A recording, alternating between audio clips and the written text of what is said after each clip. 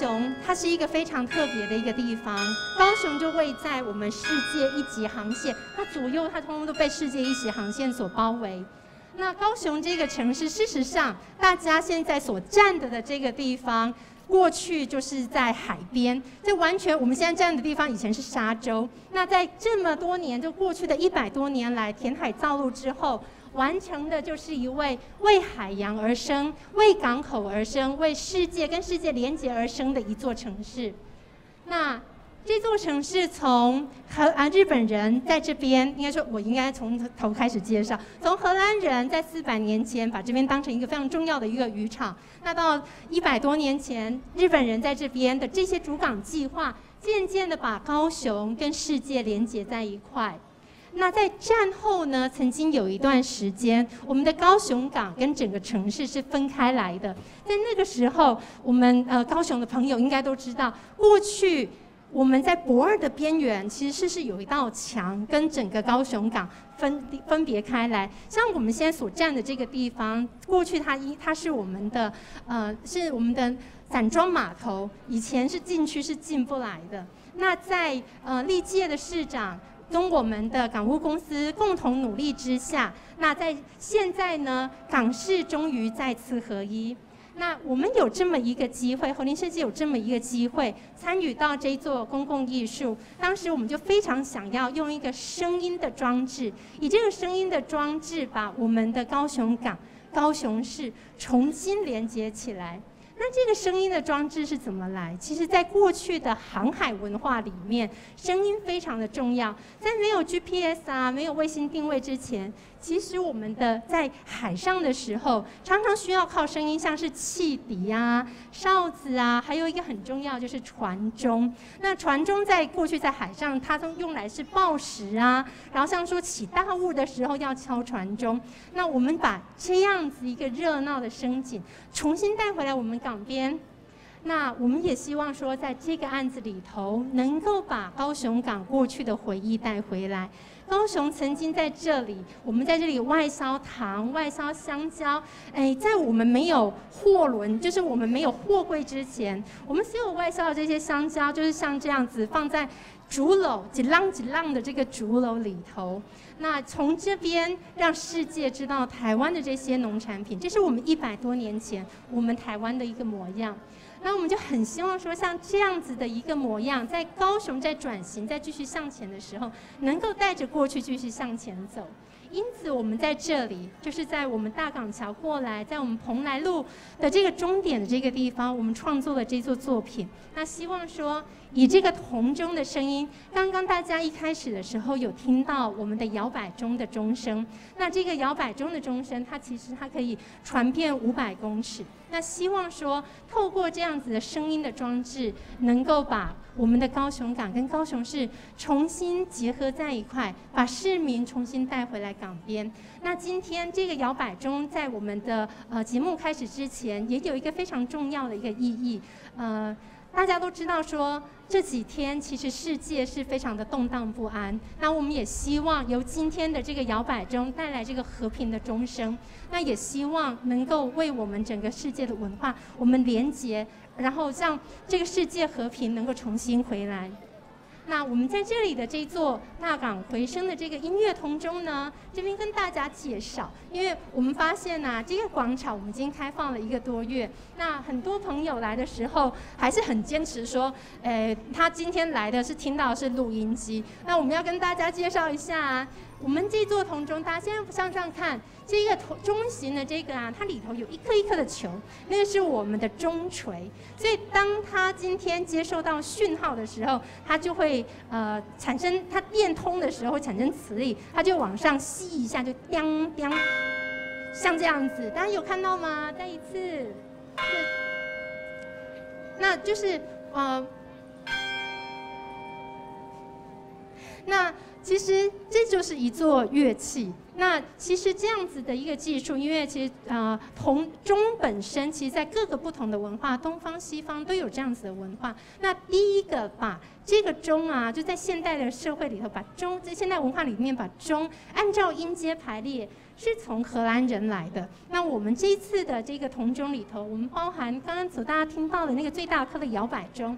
那以及在我们这边有三十七颗的铜钟，那这三十七颗的铜钟刚好有三三个半的音阶。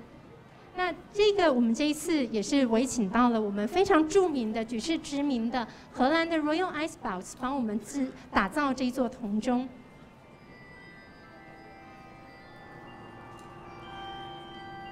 那这一次啊，在这个案子在执行的时候，我们就在到处寻觅这个钟要找谁做。那最后找到的，当然就是我们现在世界上冶金技术最好的荷兰的 Royal Ice b o x 来帮我们制作。那其实从一开始在做的时候，就已经碰到疫情了，所以在两边我们就想办法要长距离沟通。那 Royal Ice b o x 是一间从十九世纪就创立的一间公司，那现在是全世界最大。那他们做的作品包含说，呃，伦敦的奥运钟啊，然后包含的那个巴黎圣母院最大颗的摇摆钟。那现在呀，大家看到的是在做我们的这一组钟的时候的纪录片。我们在做钟的时候，它必须要先做两个膜，一个是内层的假膜，那还有一个外壳。那做了这两层壳之后，再把我们溶解的，就是已经融化的铜浆，把它倒进去。那在这个铜浆啊，就是就是呃 Royal Ice b o x 的独门绝活。那就是因为在呃冶金的技术，真的是荷兰的这间公司特别的厉害。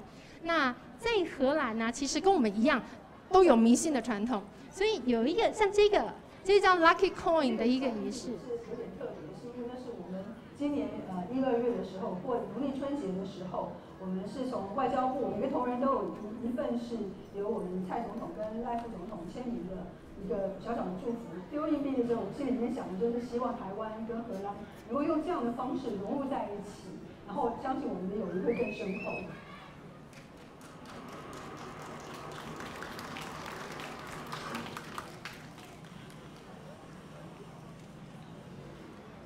其实现在，呃，铜钟的铸造上面，现代科技已经有非常大的帮忙。像说他在量测音高的时候，现在这个是可以用科技来辅助。但是这个先生呢，他的他的工作非常特别，因为他要用耳朵听去决定，现在我钟锤要敲在这个钟的哪个地方会最好听。然后敲完之后，他最后他会在上面做记号，然后这是我们钟锤会敲到的地方。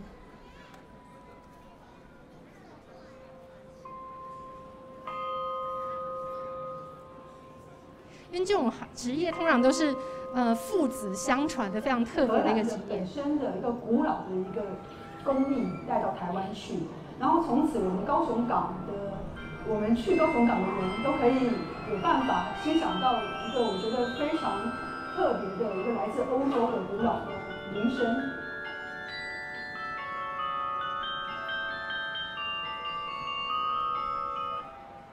大家刚刚看到最后面啊，那个用钢缆的那种是旧式的铜钟。那我们这一次的这一些都是用电子讯号，所以当它那个电源电通过去的时候，它就会是就会这样“叮”一声这样子。那接下来就是我们在介绍，除这个案子除了在荷兰的厂商的协助之外，其实我们在地我们非常开心的这一次连接了在地非常多的厂商一起来努力。我们希望说，这座铜钟它在重新展现它的意象的时候，能够跟这个在地原来的历史结合在一块。过去在这边的这些桅杆啊，过去起重机的这些意象，那以及在过去在这边香蕉从这边竹篓从这边外销的这个形象，那我们就呢。从把香蕉竹篓这个印象呢，跟我们在地的造船产业结合，这一次委请了我们的嘉信游艇来帮我们打造现在上面这些金色非常漂亮这些棚架。那这些棚架应该说是每一座铜钟它都是举世独一无二的，因为它必须，因为像说我们小提琴，它有一个一一个枪声，它的共鸣腔在里头。那我们这一座铜钟，它的共鸣腔就是我们现在整个环境，包含它是一个自带反射板的一座乐器。那上面的这一些金色的筒子、金色的反射板，事实上我们在整体的造型的时候，我们是希望它能够连接世界。大家知道吗？就是我们的在以前地理课都有学过，我们在。制图法上面有各种制图法，这个是十七世纪的时候的一个呃那个时候的的科技。那时候制图法是把呃世界分成旧大陆跟新大陆两个圈圈。那我们也希望说，我们的整个造型是把我们整个世界用两个圈圈把它整个结合在一起。那。大家刚刚有呃，我们都知道说，高雄这个整个港口是填海造陆出来的，所以其实为了要撑这么高，我们现在在我们眼睛向上看到这根柱子有十九米，可是为了要撑出这么大这么高的一座作品，事实上每一根基桩的下方，每一根柱子的下方要打四支基桩，那那四支基桩它必须要扎根下去负二十三米这么深，那。第一个是我们嘉信造船，我们这一座铜钟就是上面的这些棚架啊，就是数位设计、手工打造，是一桶一一个一个的造型，是在每一个都是用手工做出来的。它它的呃材料跟我们的这些像游艇，台湾其实在游艇在世界的产业上面非常的出名。都跟这些游艇的材料是一模一样，是 FRP。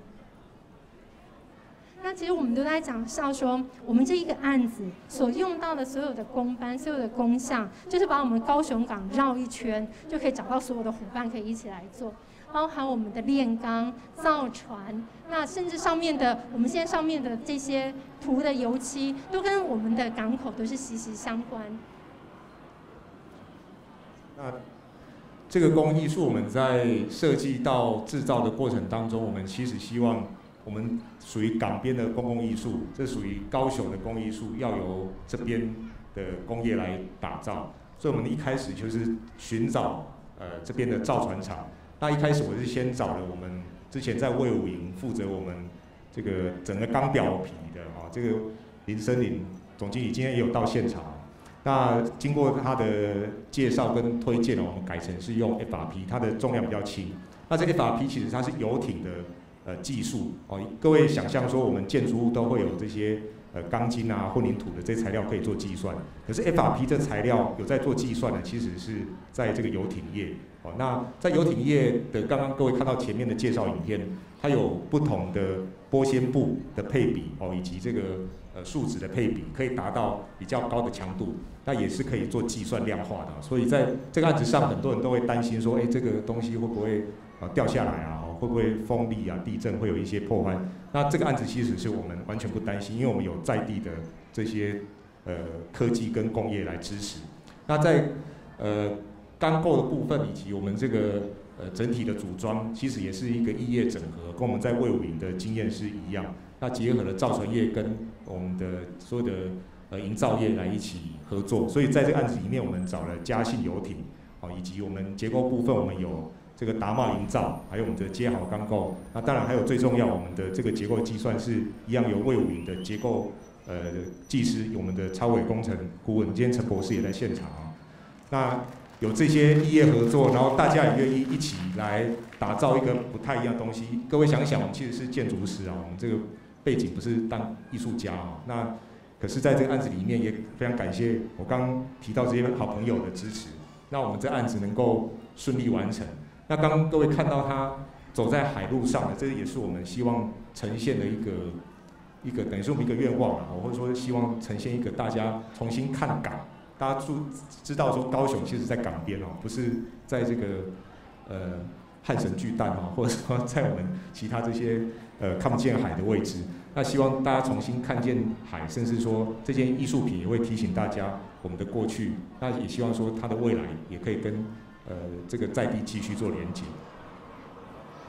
那这边再跟大家补充，就是我们所有的铜钟从荷兰制作完之后运送到台湾，那原来应该是原厂的技师要来安装，但也知道就在今去年就是在五月的时候疫在台湾疫情爆发，那所以原厂技师没有办法来的状况之下，最后都是我们自己装这样子。那在包含说在地板这边是德家营造，就真的是我们非常感动，就跟我们一起来共同打造这个非常舒适的属于市民的广场。因为我们那时候在看说，在这一座我们自己在设计的时候想说会不会太大，结果我们整个棚架在过整个高雄港的时候，发现它很像小可爱，就跟我们现在的那些洲际货轮比起来，就非常的有趣。那其实它看起来非常的特别，好像又很。精致，但我们觉得说它确实是这座港才能够长得出来的一座艺术品。那这边可以看到我们的灯光设计是呃我们的月河灯光间连线有到，然后和我们的呃原厂呃这我们提供我们所有的技术的支持。那原厂这边也是帮我们安装铜钟的这个呃团队嘛，这个非常不简单，因为原厂不能原厂的这个铜钟呃技师不能过来，所以是全部由台湾这边来做安装。那我们希望说，这座铜钟它能够带给大家在都市里头有一个声音的这样子的元素。那听同一首歌十年之后，我们会长出一样的记忆。那我们希望说，在这一座作品能够为这个城市的未来创造一个新的传统，这是我们希望在这个案子里头做到的。那今天非常谢谢大家。那我们首先呢，我们要邀请到的是我们荷兰驻台代表。韩静南先生来为我们讲几句话。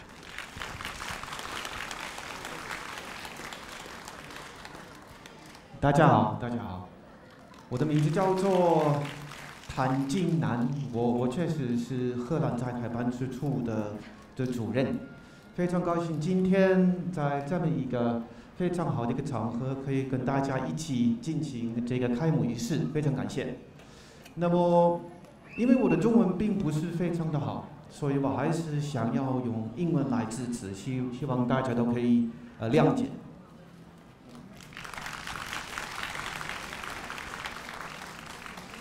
So first of all, I would like to say hello to um, many um, important persons here that are representing the Kaohsiung um, government. Um, we have here Madam Shun Miaozi.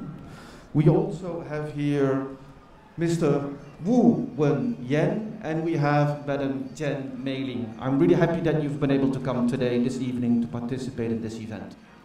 今天非常开心，就是高雄市政府这边有我们的吴念局长、我们沈妙思董事长以及我们的简副座能够一起在这里跟我们一起共度下午。And as I said, to me, it's really an honor to participate in this activity Echo Across the Harbour because there is a lot of historical significance in this event. 我们今天很开心能够来参加大港回声的这个音乐同中音呃同中音乐会，因为这边有非常多历史上非常重要的事情，我想跟你们分享。But also at a personal level, it's a really nice event.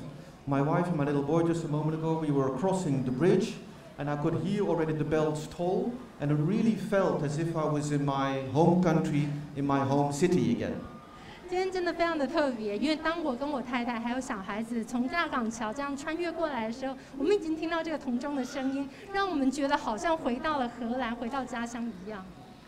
But there is also a historical significance. You, you may remember, and Madam Lin just referred to it, that about 400 years ago the Dutch were also here in the southern part of Taiwan.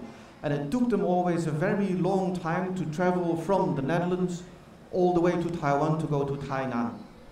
When they left the Netherlands, I am sure that their family and friends would be standing on the shore, would be standing on the quayside, waving goodbye to their husbands, to their friends, to their fathers, and I am sure that they will have heard exact same Carelians playing. 四百多年前，那时候荷兰人来到台湾。那我相信说，当时的这些荷兰的水手，当他们离开家乡的时候，跟他们的亲人说再见的时候，在这个岸边一定也会有铜钟的声音来欢送他们。So at, at a certain level, listening to these bells here, it is it, it is as if the the bells are sounding across time and space all the way 400 years back. 我们觉得说在这里听到这个铜钟的声音非常的有趣，因为它像是穿越了这四百年的时间，而且穿越了荷兰到台湾的空间，最后我们在这里听到了这个钟声。So what I just said, when I, when I heard the bells tolling, it really felt as if I was home. And if you would go to the Netherlands nowadays, you go to cities like Amsterdam, Leiden, you will hear these carillons play, and every hour of the day. 如果您现在到荷兰，因为这个声音让我就完全想到我的家乡。如果现在在荷兰到 Amsterdam 到 Leiden 到这些重要的城市，其实不管大荷兰不管大小城市，通通都有这个铜钟在每个小时报时唱歌。And the interesting thing is that these carillons, these bells, have also kept up with the times. Of course, people are still playing uh, traditional songs, classical songs. Um, Mr. Jen will play a few traditional Dutch songs in a minute, but they are also playing modern songs. If you look on YouTube, for example, you search on the uh, bells of the city of Utrecht, then you will find the clip where the carillon is actually playing songs by David Bowie, songs by Prince, and other modern pop stars. 铜钟啊，它除了说呃演奏这些传统的歌曲，像古典歌曲啊、宗教歌曲以外，就像我们等一下简总监会为我们所表演的，那铜钟其实现在在荷兰已经跟着时代在演进。如果大家上 YouTube 上面去搜寻呃 Bell of Utrecht。就是呃乌特列支的的铜钟这样子，您就会发现到非常多有趣的铜钟与当代音乐的结合，包含说铜钟演奏大卫包伊啊，然后王子合唱团之类的这样子的一个呃演出。So I hope that these bells, this carillon at one point will also play the songs of my favorite Mandarin pop stars, Chen Suhua, Qi Qin, Ukulele. That's very old, so now you know how old I am. 我们也希望说，这座铜钟能够在未来也能够演奏台湾的这些流行音乐，像是齐秦啊、陈淑华、尤克里里啊，让大家听了就知道我的年纪在哪里了。跟大家补充一下，代表是在一九九一年到九二年的时候，曾经在台大当交换学生，所以一定是那个时候喜欢上的。But back to these to this beautiful carillon, to these beautiful bells, as Madame Lin just said, it was produced by Royal Icebouts. And Royal Icebouts is a company that can actually carry the royal emblem, if you will, and that is because, of course, they're an excellent company, but also because they've existed already for 100 years. 那今天呢，很开心来这边，也是因为我们的这个铜钟的本身是由我们的荷兰 Royal Ice 堡所打造。那 Royal Ice 堡它能够拿到皇家的认证，也是因为它制作精良。那这间从一百呃一百多年前，就是一一一八四七年就成立的这间公司，其实真的是我们荷兰非常的骄傲。And as Madam Lin just said, uh, amongst the accomplishments are the production of a bell that was used during the London Olympics. And there is also a bell made by Royal Eisenbahn that is being used in the Notre Dame. 那 Royal Ice 堡最出名的案子，它是包含说在伦敦奥运的这个大会钟啊，然后还有包含巴黎圣母院最大颗的摇摆钟，都是由我们这家荷兰的公司所打造。And I do hope that the quality of the carillon can be heard through the performance that Mr. Jen will do this evening. So again, in closing, for me it's a real honor to be here. I hope that um, the echo across the harbor will continue to connect the Netherlands with um, Kaohsiung and with Taiwan. And I also hope in this day and age, as you just mentioned, that they will also be the bells of peace. Thank you so much.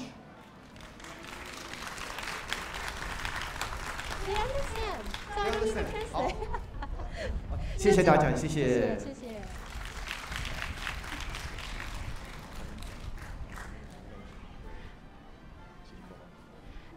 今天呢？呃，刚刚代表最后也提提到说，希望这座大港回声能够持续的连接台湾与世界，台湾与荷兰，也能够为我们这个世界和平，今天能够为呃这个世界能够更和平。那接下来我们即将要登场的是我们简文斌简总监的音乐音乐会。那是这样子。因为在台湾，我们发现说有非常多的，我们平时的的谈话里头有非常多的智慧来自于钟，可是我们其实好像大家也没有真过真正听过钟。那我们除了说自动这座铜钟它能够做自动演奏以外，我们今天特地邀请到了我们魏武营艺术文化中心的总监简文斌先生。原因是因为简总监呢，他们那边就是魏武营，他那边呃，大家如果有去过，有他的榕树广场。都是用我们造船的钢表皮所做，我们都称他是我们陆上造船最大陆上造船的船长。那所以我们这座铜钟要快乐出航的时候，就特地委请到我们船长来帮我们出航这样子。那大家欢迎我们简总监。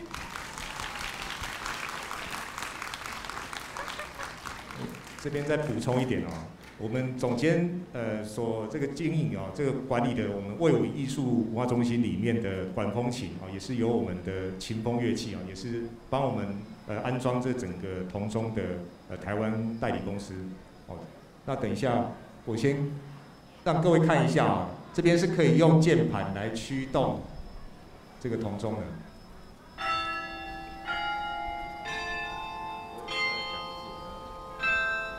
哦，这个是真的哦，不是放喇叭，也不是先预录歌曲哈，我要先证明一下哈。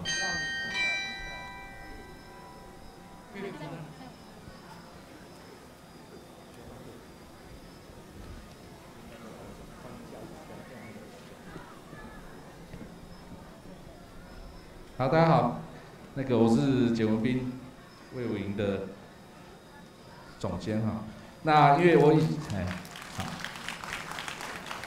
啊，对，就是呃，也很高兴来呃来参加这个典礼。就是刚刚我们庆谋已经讲了啊，就是我们其实它魏武营整个建筑和我们高雄新的车站一样哈，都是由荷兰的建筑师事务所来完成的。那呃，就是他们有一些这样子的理念，包括人跟大自然之间的结合，或是说让城市和自然之间的结合，那都是在魏武营，或者说在这一座铜钟，或是在高雄车站，我们都可以看得到。那昨天我下午来这边，呃，稍微进行了一下排练。那刚才也已经说过，就是这套钟其实它是可以用电脑控制，就是已经之前就先设计好的音乐。但是它同样也可以透过呃光纤的这个连接，然后现场在这边演奏。那我昨天在这边排练的时候，就有一位民众跑来，他说：“哎，你是真的在弹，就是还是你只是在做动作？”我跟他说：“其实我练了很久。”就是要配合那个声音出来的时候，好像我我我同时在弹这样，那其实不是我在弹，那当然那是跟他开玩笑的，因为那个当时是全部都是我来演奏出来的。好，那这个呃这个钟就如同刚才我们的荷兰代表说的哈，那其实它可以演奏非常多的东西。好，那这边有几个就是，哎，我们就是。简短的在这边，呃，因为待会我们还有很精彩的呃表演哈，所以我这边只是先跟大家呃讲一下，呃，就说让大家听一下这个感觉。那我们刚刚也听到说，这个钟声其实在对于水手、对于船哈、对于港口来说，它其实有很多种意义。哈，那这次其实我们大家也看到，在大家的后方，沿着海岸，这次高雄市政府为了这个灯会哦，它其实把全台湾所有的灯塔全部都。摆出来，那灯塔除了它那个灯的那个呃灯的那个讯号以外，那其实我们的这个钟，它经过了那么久以后，其实它慢慢也有那样子的一个感觉。那最大的一个感觉是什么呢？其实就像我们从小大家都会听到的。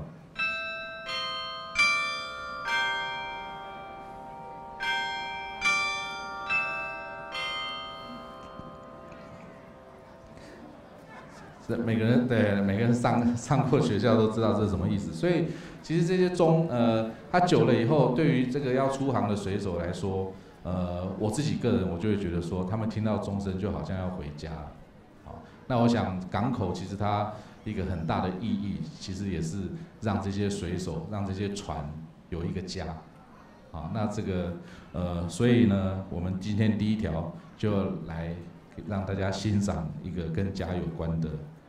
曲子。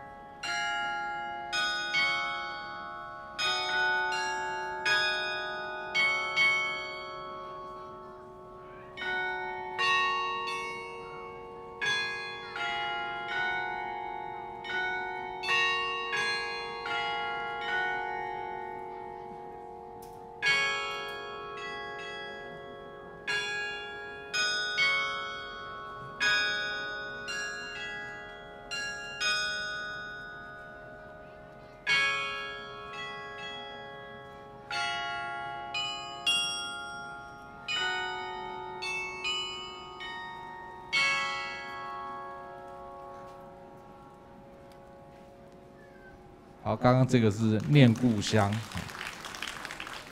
好，不过昨天他们呃就是有点歌哦，那就是说有一些世界名，念故乡也是世界名曲哦，所以有一首曲子叫做《蓝色多瑙河》。好，那这个也是我们顺便工商时间一下，我们魏武营每年一月一号都会有做那个维也纳爱乐新年音乐会的实况转播，那他们一定会演奏这一条。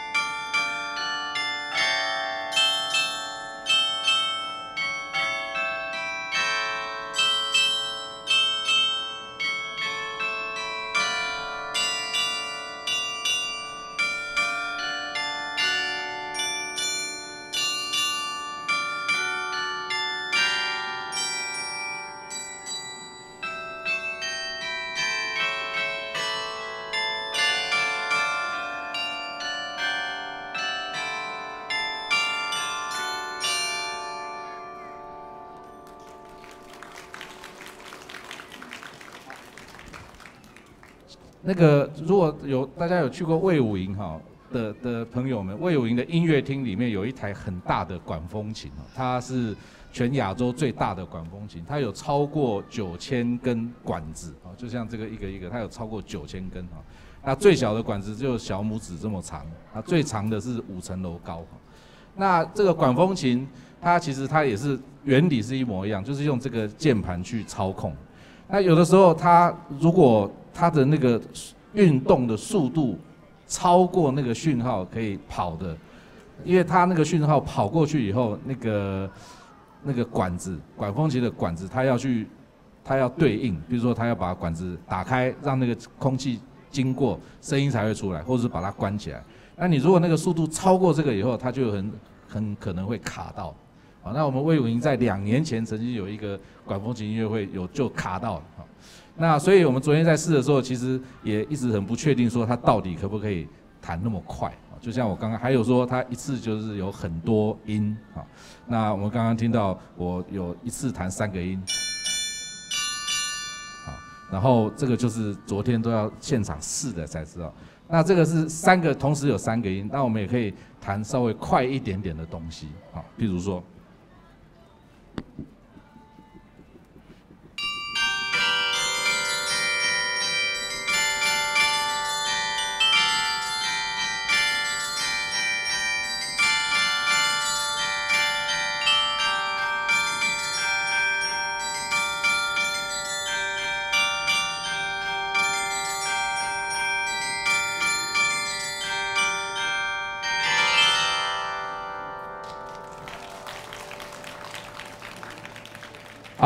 然后呢，呃，最后他也不是都只能弹世界名曲啊，他譬如说他也可以弹。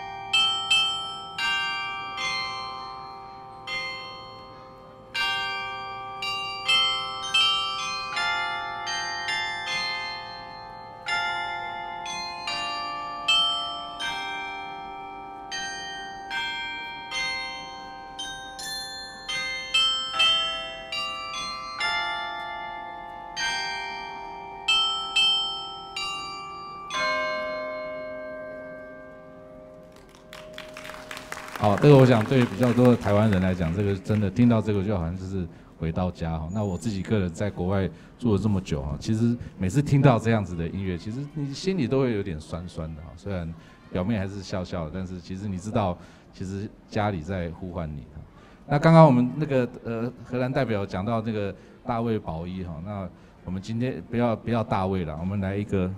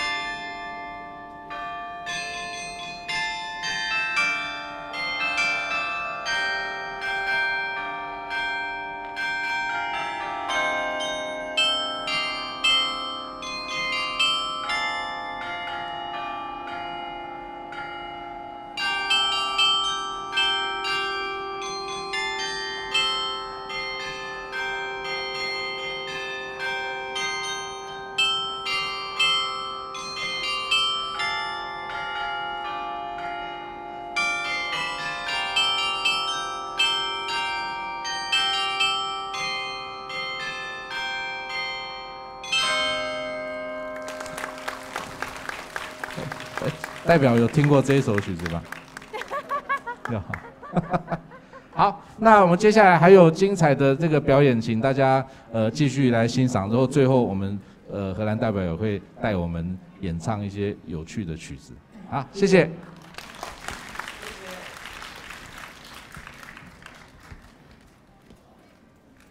我们谢谢简文斌简总监。那接下来的节目呢，我们会欢迎到我们的希望合唱团，来自于我们屏东的帕萨康拉呃 Charles Tower。那他们的呃成团的理念呢，是希望透过努力，透过自身的歌声，把希望带给自己，也带给所有的人。那我们今天非常的开心，能够有我们的希望合唱的小朋友。来跟我们这个世界上最大的乐器一起合奏，那我们欢迎希望合唱团。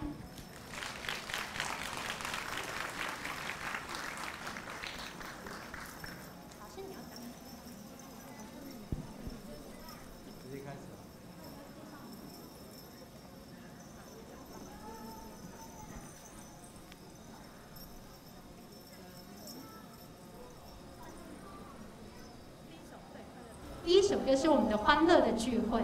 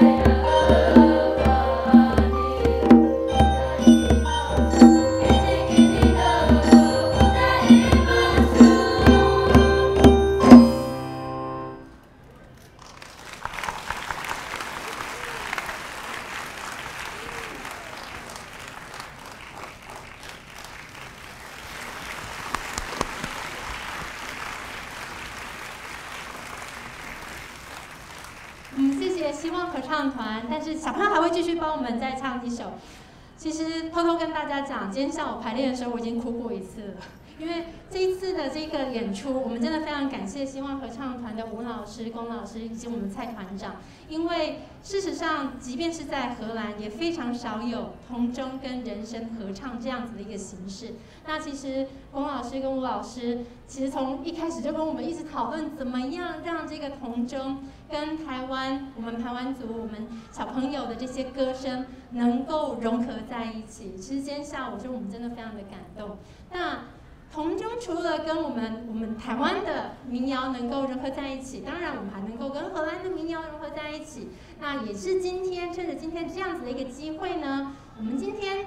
我们要来做一件事情，就是我们要来帮这座铜钟庆生，因为今天是他第一次这么正式的在展现在大家面前。那我们呢，要因为铜钟的本身呢，钟本身是从荷兰来，他可能听得懂的是荷兰文，所以我们今天呢，要由我们谭代表跟我们大家一起来用荷兰文唱生日快乐歌。要跟大家介绍一下，荷兰文的生日快乐跟跟台湾的生日快乐，就我们的 Happy Birthday 是不一样的。那荷兰人的生日快乐歌呢，是在唱，其实我觉得跟我们台湾比较像。那我们让我们的谭代表来简单介绍一下。好的，好的。我我要站在哪边？要站这边吗？还是要上去吗？我一个人吗？哇，真的真的。那那我我跟你们在一起好不好？不然的话我就有点紧张。待会我们要去唱的一首歌，确实是祝福人家呃生日快乐的一首歌。呃，其实呃翻成国语应该是祝您生活长寿吧。好，那么我们就开始吧。Long。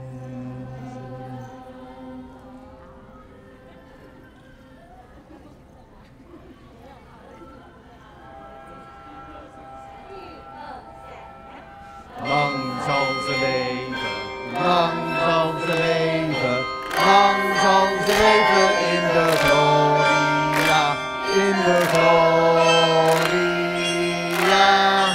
in de gloria.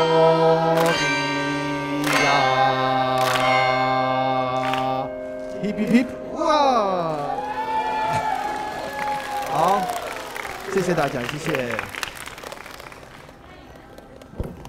代表开玩笑说，其实荷兰人的快乐歌跟台湾比较接近，因为 Happy Birthday 只有祝你快乐嘛，对不对？然后，但是荷兰人的生日快乐歌是祝你长寿，跟我们就祝对方那个福如东海、寿比南山比较接近这样子。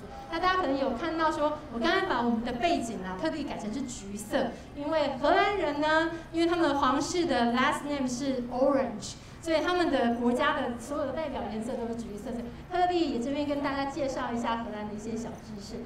那谢谢谭代表，谢谢。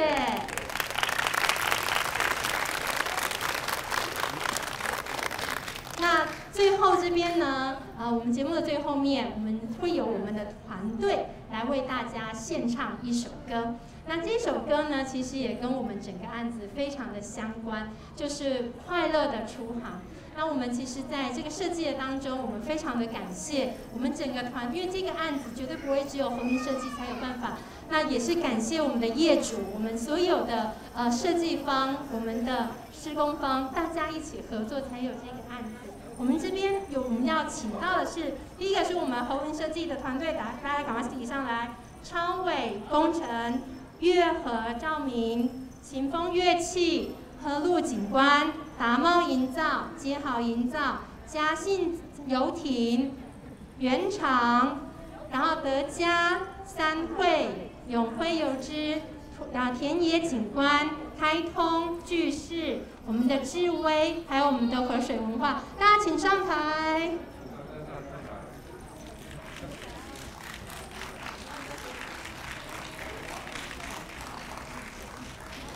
因为我们怕大人会唱不好，所以我们就作弊，然后请小朋友来帮我们一起唱这样子。我们其实也非常非常非常的感谢希望合唱团，因为呃快乐出航，我相信可能在座很多朋友大家都会唱，但快乐车行它是台语歌，其实小朋友的练习中也很辛苦。然后我们今天就是呃跟大家一起来，就希望在场的朋友如果会唱的，大家也一起唱。那我们今天我们就拜托我们的简老师帮我们伴奏。